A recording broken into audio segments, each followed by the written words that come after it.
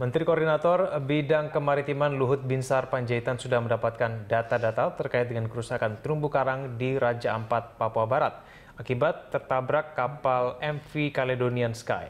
Ya, tim dari Kemenko Maritim sudah kembali pulang dari Raja Ampat dan sedang menyusun laporan hasil temuan di sana. Menurut Luhut, kapal pesiar tersebut telah merusak terumbu karang seluas lebih dari 19.000 meter persegi dan memusnahkan lebih dari 13.000 terumbu karang. Untuk memulihkan dan memperbaiki kondisi terumbu karang seperti sedia kala memerlukan waktu yang cukup lama. Apalagi ada beberapa spesies yang memerlukan waktu ratusan tahun untuk bisa tumbuh kembali.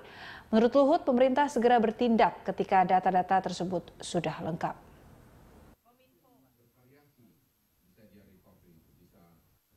Menyangkut Raja Ampat, memang oleh uh, Pak Hafaz itu langsung begitu ada kejadian, saya sudah dilaporin minggu lalu itu, hari Minggu ya, hari Minggu kalau saya 10 hari lalu ya. Sabtu. Iya, Sabtu. Pagi-pagi saya dilaporin dengan kejadian itu dan sudah kita langsung bertindak. Dan kita sudah identify masalahnya. Saya kira sudah selesai ya. Uh, timnya sudah sini, tinggal menyusun laporannya kita sudah menemukan kerusakan yang diakibatkan itu. Karangnya itu ada hampir 19 atau 19 ribu meter square. Yang rusak terumbu karang itu 13 ribu. Yang rusak total dan itu dibutuhkan memang waktu yang bervariasi.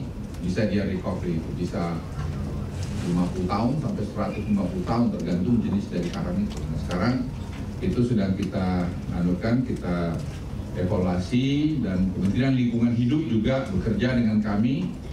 Dan kita lihat dari perkiraan ekonomi dan perkiraan opportunity loss akibat itu. Dan uh, sedang kita hitung baik dan bagusnya dari pihak asuransi juga sudah terlibat dalam penghitungan itu membuat data itu.